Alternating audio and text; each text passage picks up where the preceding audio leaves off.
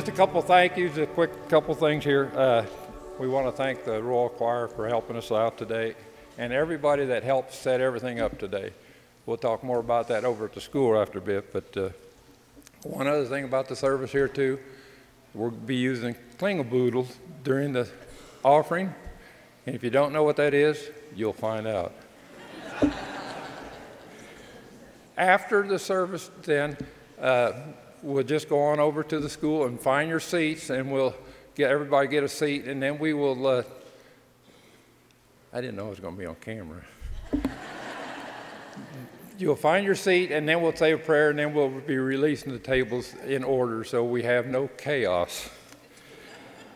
The confirmation classes, they're going to be helping carrying trays and stuff, so if you need some help, don't be afraid to ask them for any kind of help to do anything. A free will offering is going to be taken during the, the uh, meal and uh, things like that. And one other thing, if you've seen a small boy walking around here with a basket with two fish and five loaves of bread, we might need him a little bit later over at the school.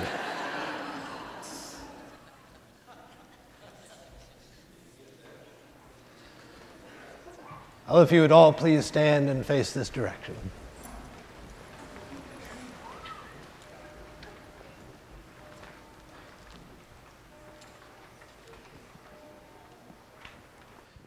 Christ is risen. In the name of the Father, and of the Son, and of the Holy Spirit. Amen. Almighty God, to whom all hearts are open, all desires known, and from whom no secrets are hid, cleanse the thoughts of our hearts by the inspiration of your Holy Spirit, that we may perfectly love you and worthily magnify your holy name. Through Jesus Christ our Lord. Amen. If we say we have no sin, we deceive ourselves, and the truth is not in us. But if we confess our sins, God, who is faithful and just, will forgive us our sins and cleanse us from all unrighteousness. Most merciful God, we confess that we are in bondage to sin and cannot free ourselves. We have sinned against you in thought, word, and deed, by what we have done and by what we have left undone. We have not loved you with our whole heart. We have not loved our neighbors as ourselves. For the sake of your Son, Jesus Christ, have mercy on us.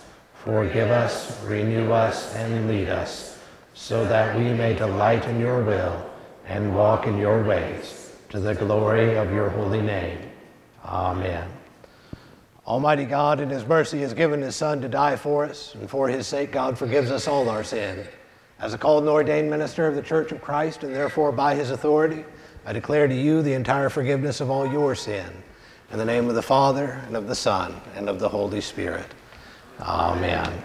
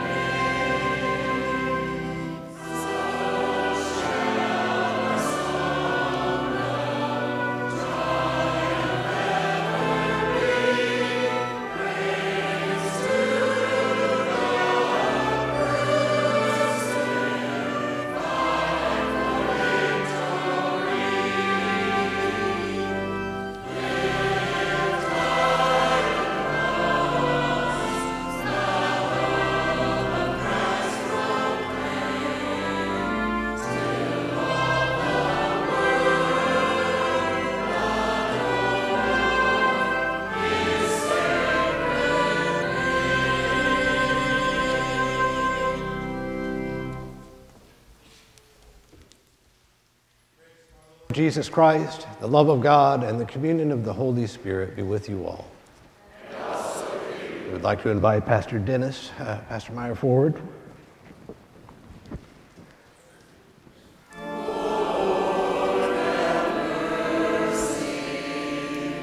For the peace from above and for our salvation, let us pray to the Lord.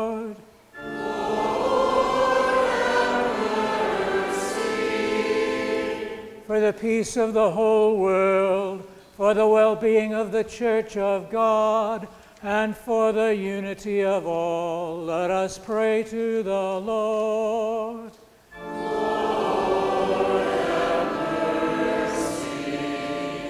For this holy house and for all who offer here their worship and praise, let us pray to the Lord.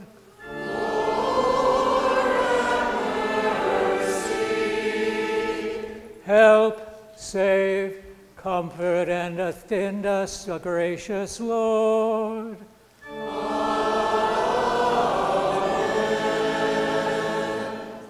This is the feast of victory for our God.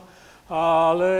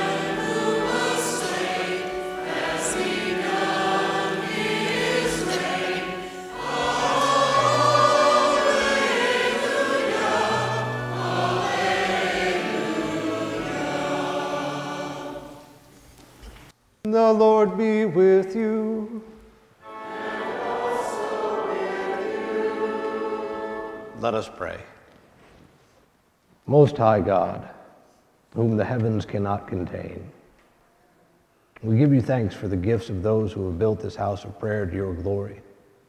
We praise you for the fellowship of those who by their use have made it holy. And we pray that all who seek you here may find you and be filled with your joy and peace through your Son, Jesus Christ our Lord. Amen.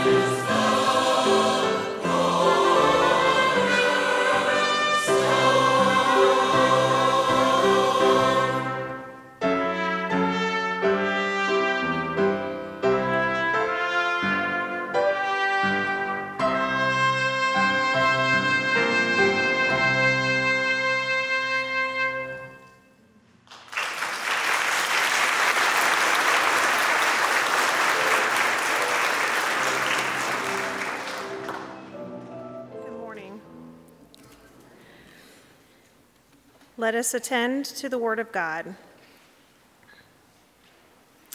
A reading from the Book of Kings, the first book, the eighth chapter. Then Solomon stood before the altar of the Lord in the presence of all the assembly of Israel, and spread out his hands toward heaven and said, O Lord, God of Israel, there is no God like you, in heaven above or on earth beneath, keeping covenant and showing steadfast love to your servants who walk before you with all their heart. You have kept with your servant David, my father, what you declared to him. You spoke with your mouth, and with your hand have fulfilled it this day.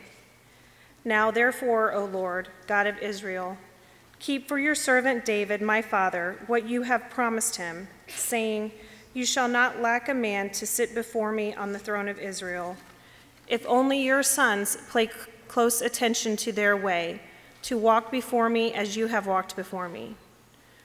Now, therefore, O God of Israel, let your word be confirmed which you have spoken to your servant David, my father. But will God indeed dwell on the earth? Behold, heaven and the highest heaven cannot contain you. How much less this house that I have built? Yet have regard to the prayer of your servant and to his plea, O Lord my God, listening to the cry and to the prayer that your servant prays before you this day, that your eyes may be open night and day toward this house, the place of which you have said, my name shall be there, that you may listen to the prayer that your servant offers toward this place. And listen to the plea of your servant and of your people Israel when they pray toward this place. And listen in heaven, your dwelling place, and when you hear, forgive. This is the word of the Lord. We will pray responsively from Psalm 84. Alleluia. The Lord is risen as he said unto you, Alleluia, Alleluia. How dear to me is your dwelling, O Lord of hosts. My soul has a desire and longing for the courts of the Lord. My heart and my flesh rejoice in the living God.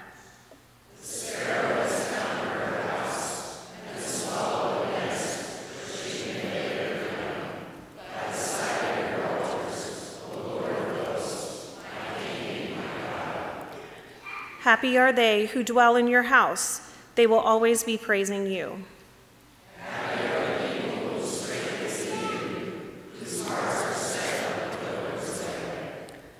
Those who go through the desolate valley will find it a place of springs, for the early rains have covered it with pools of water.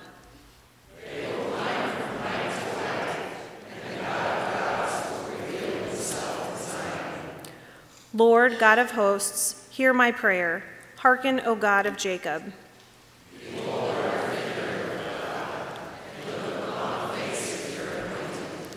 For one day in your courts is better than a thousand in my own room, and to stand at the threshold of the house of my God than to dwell in the tents of the wicked.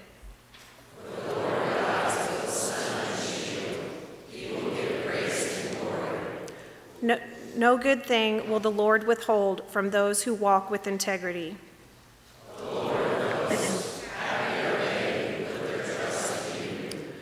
Glory to the Father, and to the Son, and to the Holy Spirit, as it was in the beginning, is now, and will be forever. Alleluia. The, the Lord is risen, as he said unto you. Alleluia. Alleluia. A reading from the letter of St. Peter, the first letter, the second chapter. So put away all malice and all deceit and hypocrisy and envy and all slander. Like newborn infants, long for the pure spiritual milk, that by it you may grow up into salvation, if indeed you have tasted that the Lord is good. As you come to him, a living stone rejected by men, but in the sight of God chosen and precious, you yourselves are like living stones, are being built up as a spiritual house, to be a holy priesthood, to offer spiritual sacrifices acceptable to God through Jesus Christ. For it stands in Scripture Behold, I am laying in Zion a stone, a cornerstone chosen and precious, and whoever believes in him will not be put to shame. So the honor is for you who believe, but for those who do not believe, the stone that the builders rejected has become the cornerstone, and a stone of stumbling and a rock of offense. They stumble because they disobey the word, as they were destined to do. But you are a chosen race, a royal priesthood, a holy nation, a people for his own possession, that you may proclaim the excellencies of him who called you out of darkness into his marvelous light. This is the word of the Lord.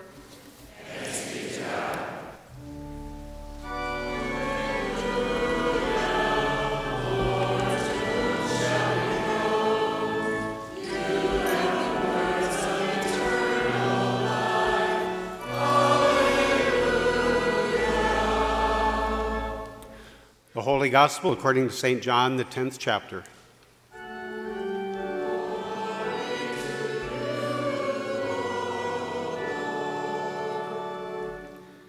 At that time, the feast of dedication took place at Jerusalem. It was winter, and Jesus was walking in the temple in the colonnade of Solomon. So the Jews gathered around him and said, said to him, How long will you keep us in suspense? If you are the Christ, tell us plainly. Jesus answered them, I told you, and you do not believe. The works that I do in my Father's name bear witness about me, but you do not believe because you are not among my sheep. My sheep hear my voice, and I know them, and they follow me. I give them eternal life, and they will never perish, and no one will snatch them out of my hand. My Father, who has given them to me, is greater than all and no one is able to snatch them out of the Father's hand. I and the Father are one. The Gospel of the Lord.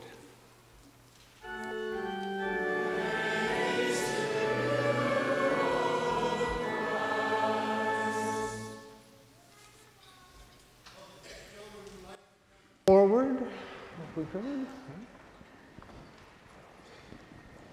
Come on up here, guys. Come on up. You guys want to take a seat on the steps there? Come on, come on.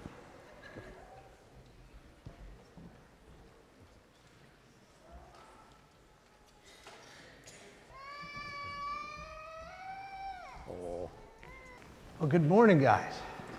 Are we doing all right this morning? We happy to be celebrating? What are we celebrating today? What's, what's what all the, the big to do that we've got going on today? What's going on? Yeah. Yeah, the 150th anniversary. Right now? So what is it's the 150th anniversary of what? Jesus.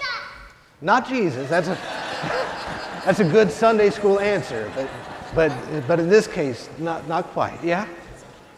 The church, right? The the, the founding of this church, the the establishment of this congregation. Now, why do you think we would want to celebrate something like that? Why would we celebrate? Uh, because of Jesus. That's exactly right. That's a good job, right? We celebrate 150 years of sticking with Christ, right? Now, uh, Russell's got some, some gifts for you guys here. Uh, what, what, what's this thing here? What is this, do you think? Church. Well, you got the picture of the church on there? Yeah. It's a magnet. Now, what does a magnet do? It's, it sticks to your fridge, sticks to metal. So now, now if, I, if I stick this magnet here, oh, I'm giving a little feedback there, moving around too much apparently. If I stick that magnet here, is that going to stay right there on this wood back? No, it doesn't stick there, does it? How about, how about if I stick it here? Stick it here. Is it going to stick there? No, it's not going to stick there. How about if I stick it to your head? You think it's going to stick there? No. Where's it going to stick? You think it'll stick on that metal? Yeah, it sticks there, doesn't it? And look here, we got a little piece of metal right here, and it sticks right there. Pastor Andy, can you put it upside down? That, no, I'm opening it upside down right now. But, all right, so it sticks to the metal, right? A magnet is made to stick to metal. It sticks to the thing it's supposed to stick to, and not a whole bunch of other stuff, right? Yeah? Yeah, well, that part is metal too, right? Well, in the same way, when God made you his own, he made you to stick to something. He made you to stick to him. to stick to Christ, to stick to the gospel, right? The promise that your sins are forgiven, that you belong to Him, that you inherit eternal life. And when we celebrate this 150 years, we are celebrating 150 years of people doing that, sticking to Christ, sticking to that promise. Yeah. So we're, so he's the big magnet and we're little pieces of metal. Well, and so that's the other thing, right? So when you stick to the thing you're supposed to stick to, you stick to the gospel, take that magnet off there for me. Now, that was pretty easy to take that off, right? But when you stick to Christ, we just heard in that gospel lesson, right? That when you are His, no one can snatch you out of His hand, right? Well, the same way, if you were, if this was, if you were the magnet, right, and you were really sticking to Christ, nobody'd be able to peel you off, right? Because He's got a hold of you, right? And that's the thing, right? Nobody can take you out of Christ's hands. He has you forever, right? That make sense? All right. So we've got some. Yeah, go ahead. Yeah. So we've got got some magnets for everybody. So if you all want to come grab a magnet. Somebody want this one? There you go.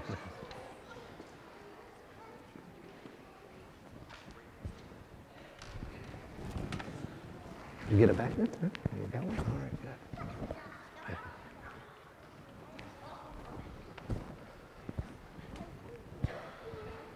Thank you guys for coming up. All right, Henry, why don't you head back to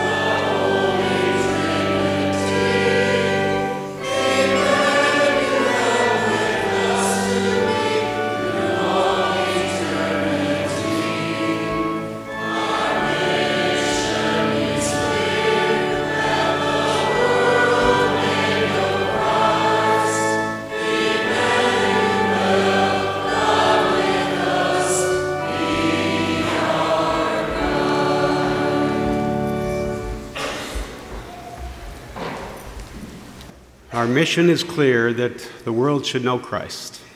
Emmanuel, God with us, be our guide. And I could say amen, and we could go on with our next song, right? I mean, that's the story of the church. That's the mission we have in Christ. That's the gospel message. Jesus became one of us, Emmanuel, and our world, our vision, our mission for the world is to go out and make his name known. What a wonderful joy this is to be here today with you on this 150th anniversary celebration. I, uh, I have to say, I don't want it to go to their heads, but I was very impressed by this, the choirs. Huh? I mean, from wasn't that wonderful? The Flatville and Royal choirs. and that was just just tremendous. And uh, to be able to be here, I, am Dan Selbo. I don't know if I've, I have not met all of you, of course, but uh, great to be here. I'm bishop for the North American Lutheran Church. I came in yesterday. We had a Saturday service in is it Luther Lounge? Is that where you, yeah, Luther Lounge and in Deers Hall. And you get a lot of history just sort of walking around this place, even in the sanctuary. It's just tremendous with the, I'd love to hear the stories about some of these stained glass windows, right? And what's up here in the, in the front and I mean, all kinds of things, uh, just tremendous, a beautiful sanctuary. And I have to, I have to say, I, I wish I could take this pulpit everywhere I went. I mean, it's just, it's tremendous. You, you walk up, you close the door, get in here, and it just it makes you feel more important and impressive than you really are.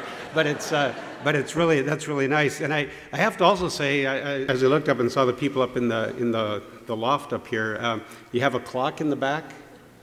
I don't know if that's so they start on time or end on time, or if it's for the preacher. I don't know what I don't know what it is. Uh, but anyway, just wonderful to be here.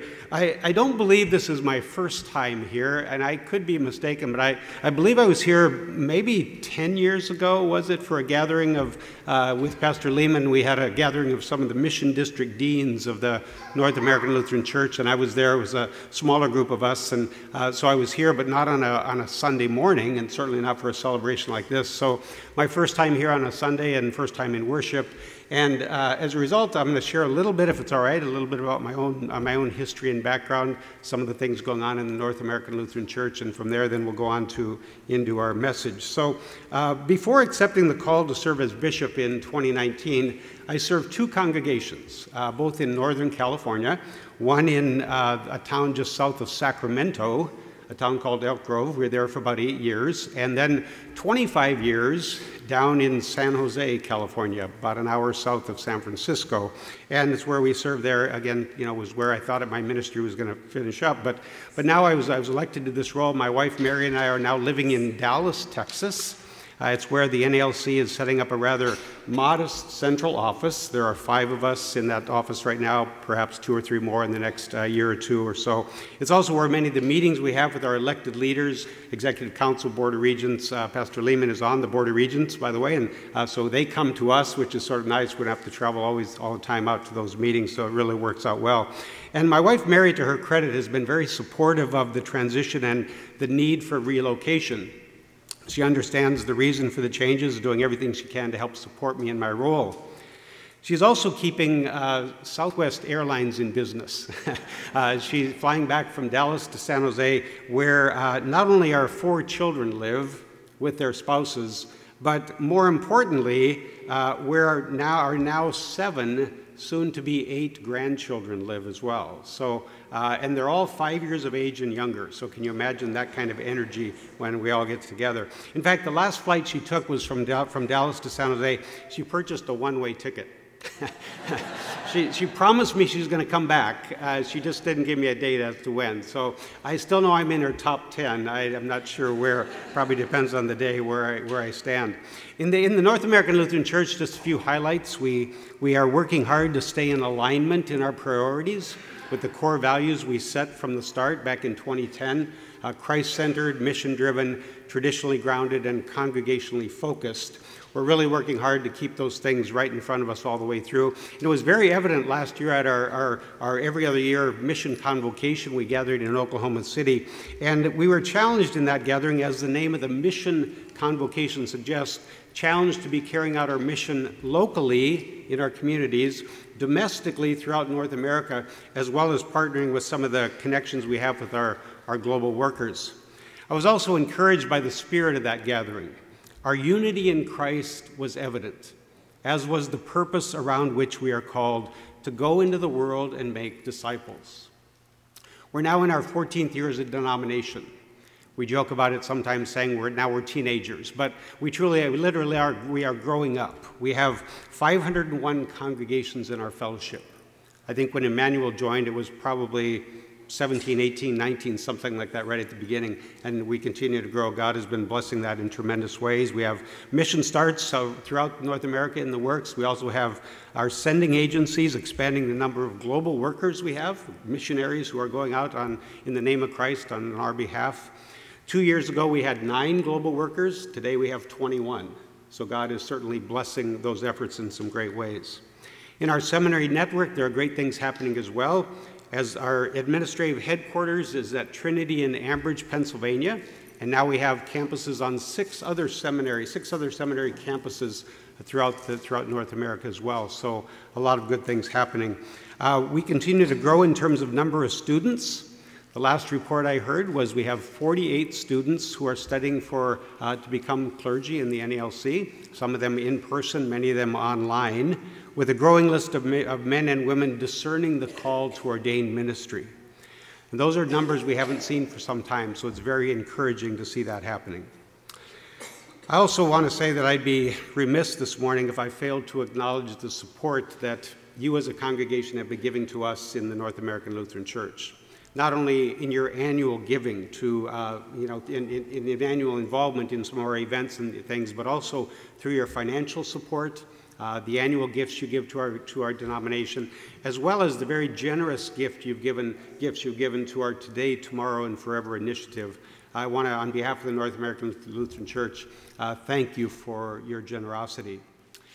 As far as your anniversary is concerned, and then we'll get into the message here in a moment, um, this is obviously a big weekend for each of you and for this faith community. A lot of history in this place many memories and, and, and are tied to the events of the past 150 years. I'd also imagine for many of you there's also a lot of emotion, especially in looking back, connected to those various times and, and memories and events. Go down the list of the important and significant and God honoring events that have taken place. How many baptisms have happened in those 150 years? How many confirmations have, since the time this congregation first started? How many weddings? How many anniversaries? How many, how many church council meetings? how, many, how many Sunday morning worship, worship services?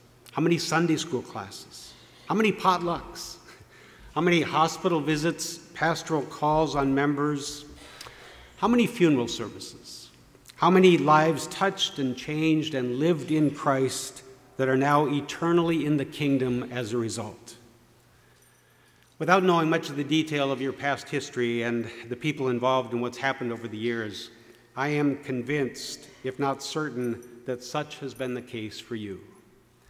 Not every congregation reaches this milestone. Not every congregation makes it to 150 years. There's good reason today to be proud and to celebrate that history. At the same time, I think it's fair to say that you haven't and you couldn't and you would not even have tried, let alone been able to do it on your own. It happens only by the grace of God. It happens only through the power of the Holy Spirit. It happens only when a long list of people, all of whom have been called and chosen and claimed by the living Christ, work together for his purposes and his glory. Once again, on behalf of the North American Lutheran Church, congratulations on 150 years. And thank you for your ministry, for your faithful witness, for your ongoing support, and for your openness and willingness to be used by God to the honor and glory of Jesus Christ. Let's bow our heads in prayer.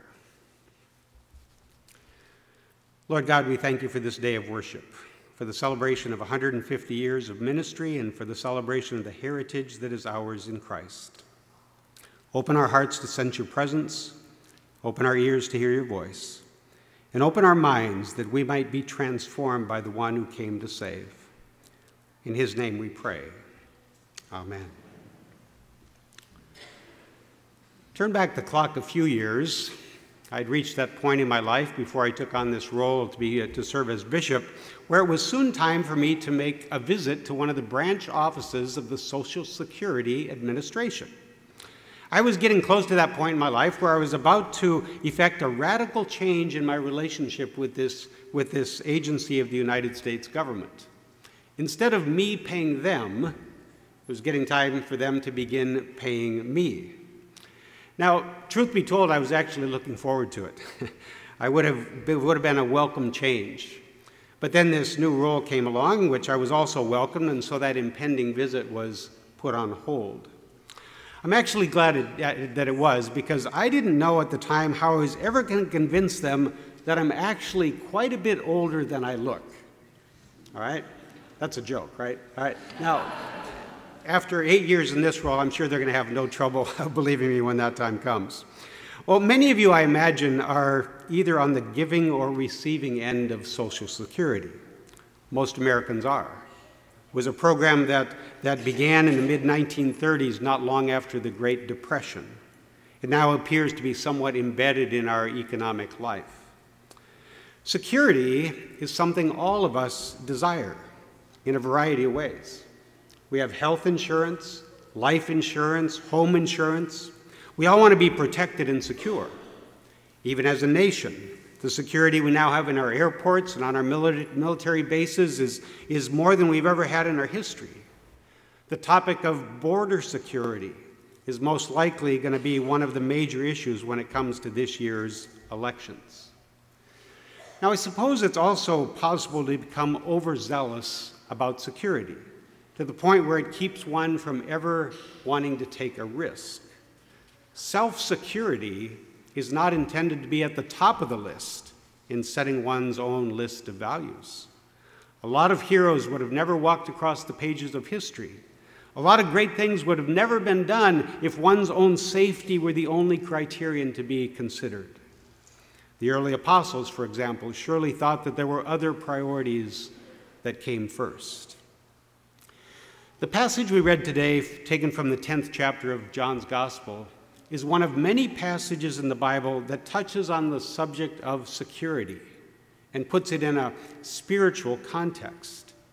It comes near the end of Jesus' ministry, at a time when those who were following needed to make a decision about who he was and what his life and teachings were all about, and whether or not they would continue to follow. Jesus says, or John says, it was the feast of dedication. It was winter, he says, and Jesus was walking in the temple. Now, in John's gospel, it's worth noting that we often find details that give us insights into things that go beyond the surface of what's being said. For example, when John talks about darkness and light, he's more often than not alluding not only to the physical conditions, but to the spiritual realities. The same thing when he says it was winter.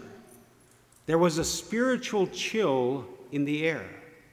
There was an uneasiness, a discontent, a feeling among the people of not liking what was happening, and it was apparent. John says it was winter, and Jesus was in the temple. And he says the people wanted to know where is this all going and what could they expect? And so they asked him. They said, How long will you keep us in suspense? If you are the Christ, then tell us plainly. Now, in Jesus' day, that was not only a big question, it was the big question.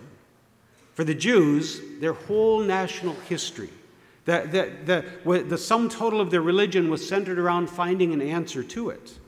They were waiting for the Savior, longing for the Messiah to come. And so they said, Who are you? They said, If you are the Christ, then don't keep us guessing any longer. Now, before going any further here this morning, if nothing else to their credit, we'd have to say that at least the people in Jesus' day were asking the right question.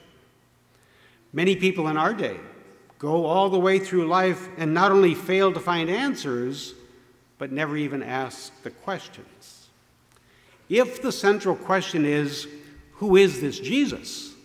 A lot of people today don't even ask questions that are peripheral questions about life and the meaning of life, questions about who we are and why we're here, questions about the character and content of our morality. Does it matter? Does it make a difference? Is there a God? And if there is, what does that mean for my life? Now, some would say those answers can't be found. Others would say it doesn't really matter. Still, others, probably more than we realize, are too busy filling their lives with all kinds of pursuits that finally lead to a dead end. And so they never even ask. Who is this Jesus? That's the question they asked. And that's the question every one of us here today, today needs to ask and answer for ourselves. Is he really the Son of God? Did he really, is he really the one sent to save us from our sin? Did he really die on a cross and come back to life? And if he did, then what does that mean for your life and for mine? If you remember the story, Jesus said, I did tell you, but you did not believe. He said, he said, The miracles I do in my Father's name speak for me, but you do not believe because you are not my sheep. Now, we're talking today about security, about being at peace and secure in this life. Let's talk for a minute about what it means to be one of Jesus' sheep, about belonging to the shepherd, because there's a big difference between knowing who Jesus is and following him as one of his sheep. I read an article not long ago that was talking about the characteristics of sheep. Right? This is, this is nothing new, right? You know this. Sheep are not the smartest animals in the world. They're not independent or creative. They're not brave or even together able to do much of any value. And they have a tendency to wander off and do their own thing, more often than not, oblivious to what's happening around them. The writer of this article said they usually nibble themselves lost. I like that description. They nibble themselves lost. They go from one tuft of grass to another until when they finally look up, they've lost their way. I read the article and I thought, no wonder Jesus compares us to sheep, nibbling our way through life, a little of this, a little of that, without paying attention. Before we know it, we're lost. I hate the comparison. There's nothing flattering about, about sheep, but it's true. And it's happening all around us. You don't have to be a pastor or a bishop to see how confused in this world many people are. But there are two characteristics of sheep that are good, and Jesus mentions both of them in the story. One is that the sheep know the voice of their shepherd. When the shepherd calls, they recognize the voice. They hear it, it gets their attention, and they perk up. And two, they not only recognize it and listen, but they follow. In fact, sheep will follow nothing else any other voice besides that of the shepherd, and they either stand there doing nothing or they scatter and run away. But not when the shepherd calls. When the shepherd calls, they recognize his voice, and when they recognize his voice, they listen to what he says and they follow. Now, take that comparison to sheep and apply it to your life. And then ask yourself, what do you think? Are you listening to the voice of the shepherd? Are you following in your life where the shepherd leads? Or are you nibbling your way through life, wandering aimlessly without direction from one voice to the next? I'm not suggesting you are or you aren't. I'm only asking the question. I hear people today give their critiques of the Christian faith and life. They say things like it's too narrow or it's too confining or it doesn't allow me the freedom to do and say in life the things I want to do and say. You know, maybe, maybe it is. Maybe it is. Uh, after all, Jesus did say the gate is wide and the way is easy that leads to destruction, and those who enter it by, are, by it are many. But the gate is narrow and the way is hard that leads to life, and those who find it are few. They might be right. So, what do they do? They go off and do and say in life whatever they want to do and say in life. And, and, and in doing so, they follow the voices they hear.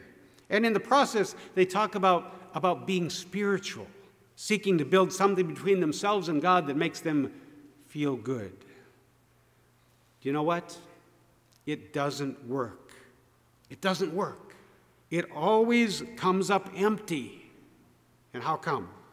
Because it ignores the truth it ignores the truth because it's built on a reality that isn't real. Because the truth is, there is a shepherd, and his name is Jesus. And we are sheep, and we do get lost. And until we learn to listen and to follow, we always will. There is no greater security in life than belonging to the shepherd and knowing you are one of his sheep. There's no greater security in your life than listening to his voice and following where he leads. I've been doing this pastoring thing in congregations and now in our denomination going on 38 years. The word pastor means shepherd. It comes from a Latin word that means one who feeds. You might remember one of the last words Jesus said to Peter was, Feed my sheep. A pastor's job is to feed the flock and point them to Jesus. Do you know what I've seen in the, those nearly 38 years of being a pastor? What I've learned from watching the sheep? It's not the only thing but going on in the story, and it's certainly not the only thing I've learned. But most sheep, most people, what they want more than anything is to know that the shepherd cares, to know that, that he knows their name and that he knows what's happening in their life. Jesus says, My sheep listen to my voice. And then he says, I know them and they follow. And I give them eternal life, and no one will snatch them out of my hand. I still remember the story, maybe you've heard it, of the census taker. You heard that story? Who was, who was making his way up and down the street. As he came to one house, there was a woman in the front yard doing some gardening. As he approached her, he said, Lady, I'm taking the census. I'd like to ask you a few questions. Is that all right? She said, Sure, go ahead.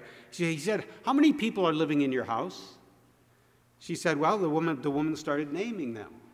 She said, Well, there, there's Marcia and Dougie and Amy and Patrick and Philip and Susie. Before she could finish, he interrupted. He said, Never mind the names, he said, just give me the number.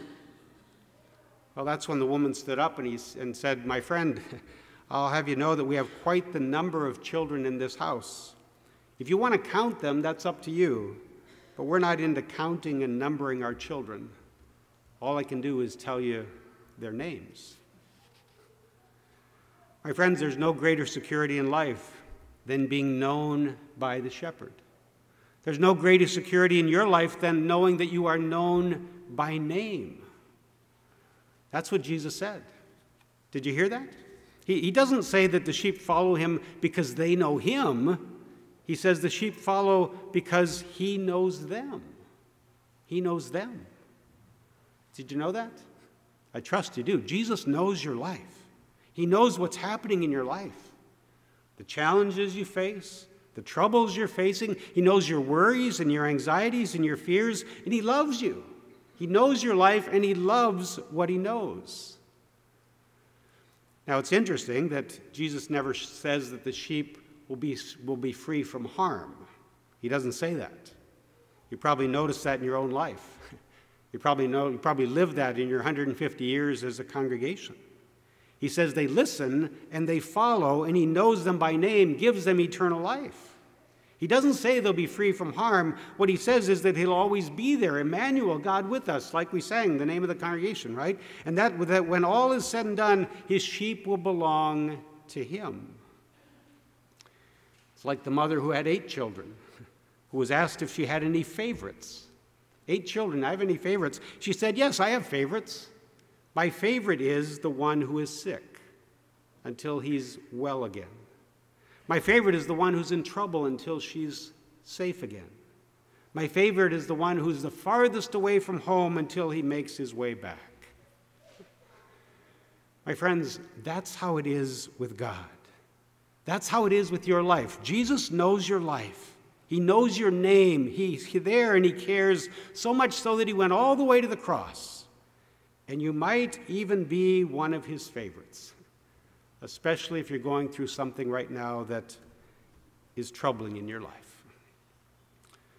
So let me close with this.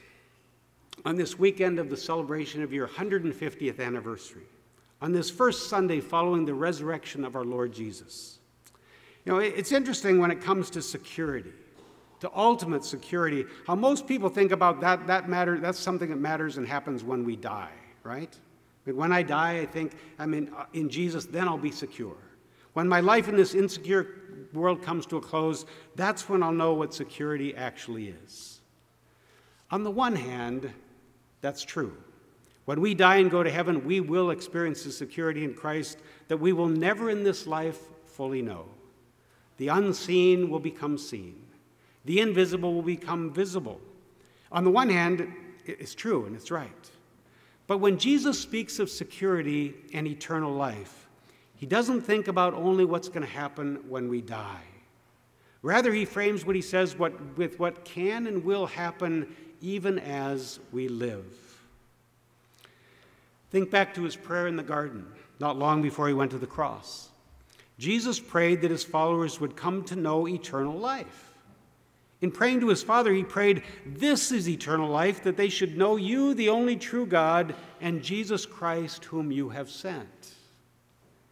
In other words, Jesus redefines eternal life from being that which, that which happens only when we die to that which is already happening even as we live.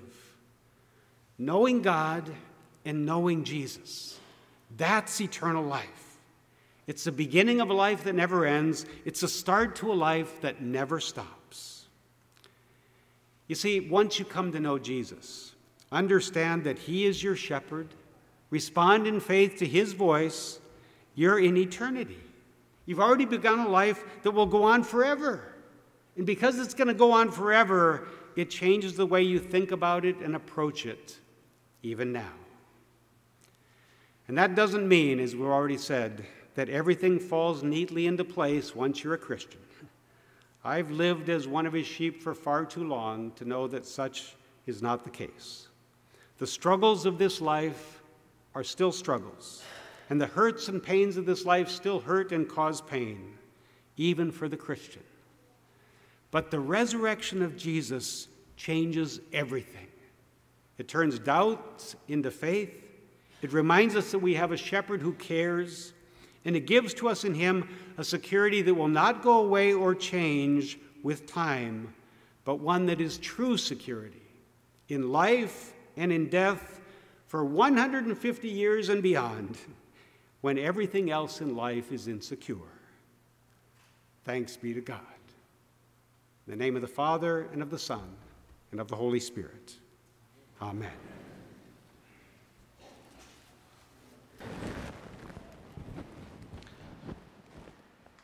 Let us stand together and confess our faith in the words of the Nicene Creed.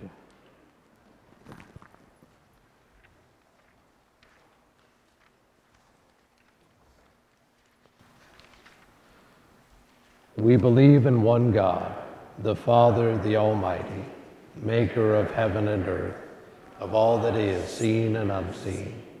We believe in one Lord Jesus Christ, the only Son of God eternally begotten of the Father, God from God, light from light, true God from true God, begotten, not made, of one being with the Father.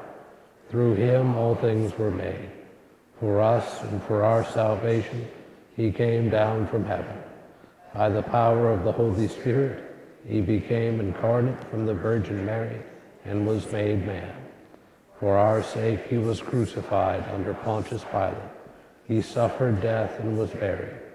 On the third day he rose again, in accordance with the Scriptures. He ascended into heaven and is seated at the right hand of the Father. He will come again in glory to judge the living and the dead, and his kingdom will have no end. We believe in the Holy Spirit, the Lord, the giver of life who proceeds from the Father and the Son. With the Father and the Son he is worshiped and glorified. He has spoken through the prophets. We believe in one holy Catholic and Apostolic Church. We acknowledge one baptism for the forgiveness of sins. We look for the resurrection of the dead and the life of the world to come. Amen. I'd like to invite Pastor, Pastor Lehman forward.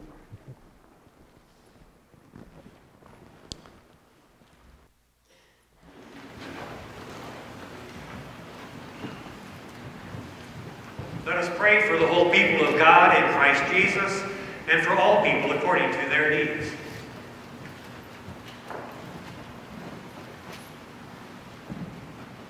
Almighty and merciful God, through our Lord Jesus, you have made us your sheep and have become our shepherd.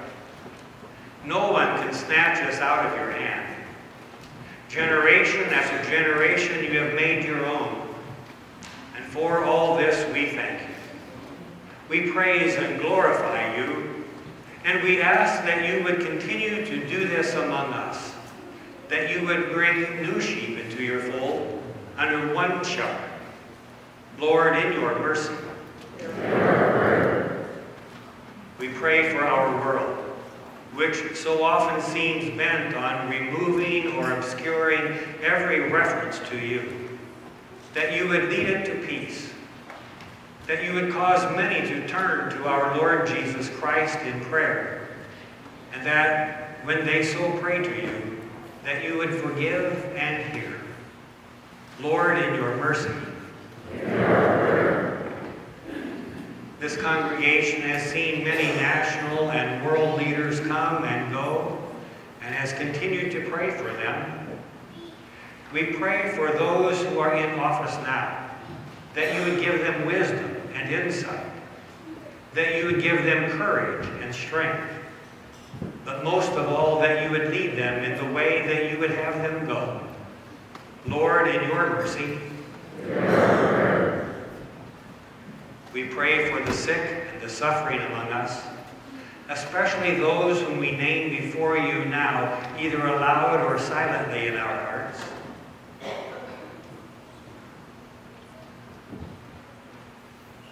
Have mercy upon them, comfort them with the knowledge of you, and heal them in accordance with your will. Lord, in your mercy, we pray for our congregation, Immanuel Lutheran Church, that upon this, our 150th anniversary, you would continue to strengthen our faith and keep us firm in your word for many more generations to come. Lord, in your mercy, we thank you for the example set for us by our forebears in faith.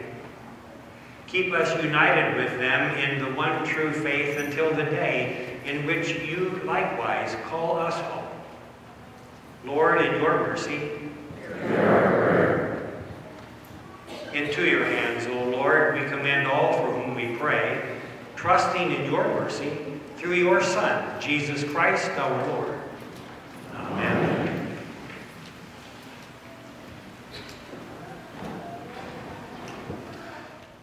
The peace of the Lord be with you always. Please share a sign of peace with one another.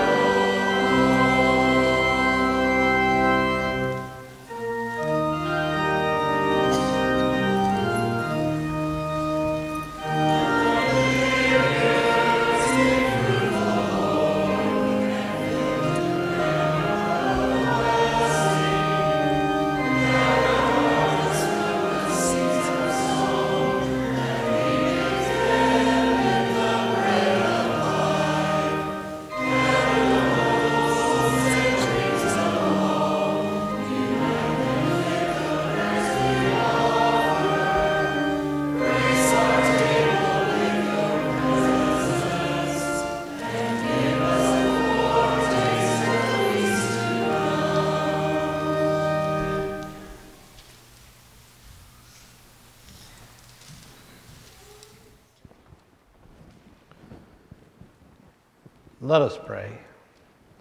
Merciful Father, we offer with joy and thanksgiving what you have first given us, ourselves, our time, and our possessions, signs of your gracious love. Receive them for the sake of him who offered himself for us, Jesus Christ our Lord. Amen. The Lord be with you.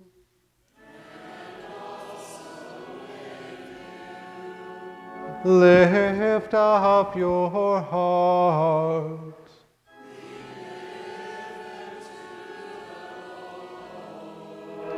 Let us give thanks to the Lord our God.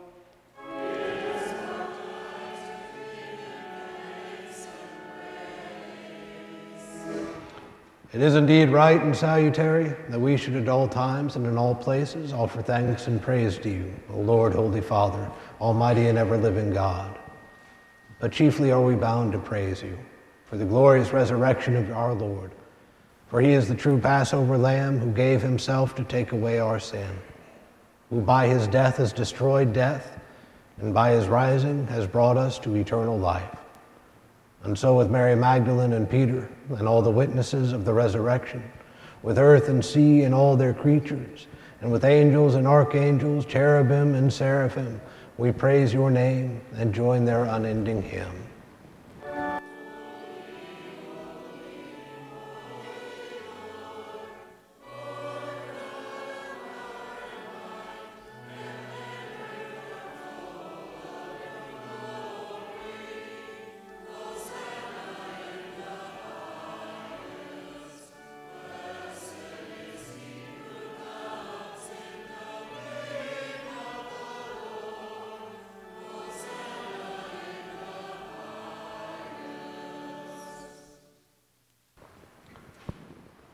Blessed are you, Lord of heaven and earth. In mercy for our fallen world, you gave your only Son, that all those who believe in him should not perish, but have eternal life.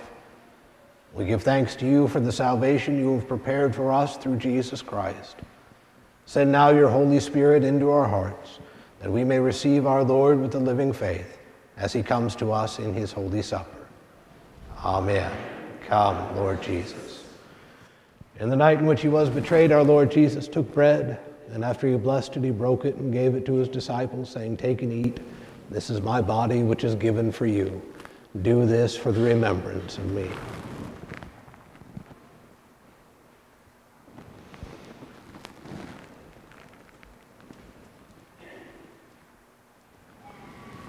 Likewise, after supper, he took the cup. And when he had blessed it, he gave it to his disciples, saying, Drink of this, all of you. This cup is the New Testament in my blood, shed for you and for all people for the forgiveness of sin. Do this for the remembrance of me.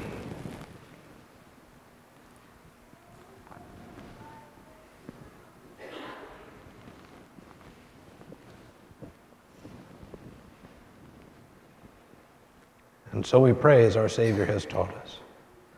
Our Father, who art in heaven, hallowed be thy name. Thy kingdom come, thy will be done, on earth as it is in heaven. Give us this day our daily bread, and forgive us our trespasses, as we forgive those who trespass against us. And lead us not into temptation, but deliver us from evil. For thine is the kingdom, and the power, and the glory, forever and ever. Amen.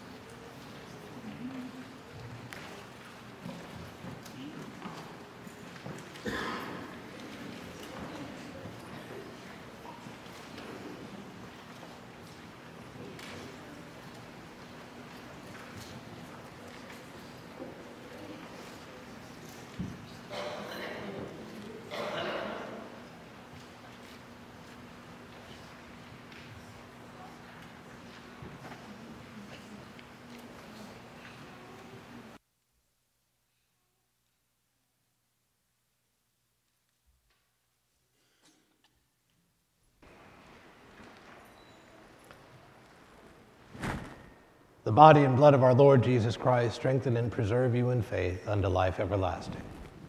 Amen. This praise.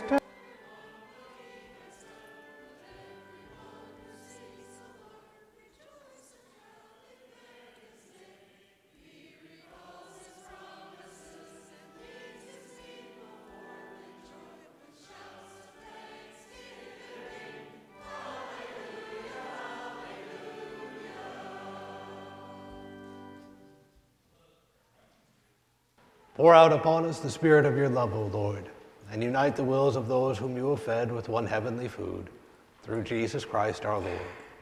Amen. The Lord bless you and keep you. The Lord make his face to shine upon you and be gracious unto you. The Lord look upon you with favor and give you peace. Amen.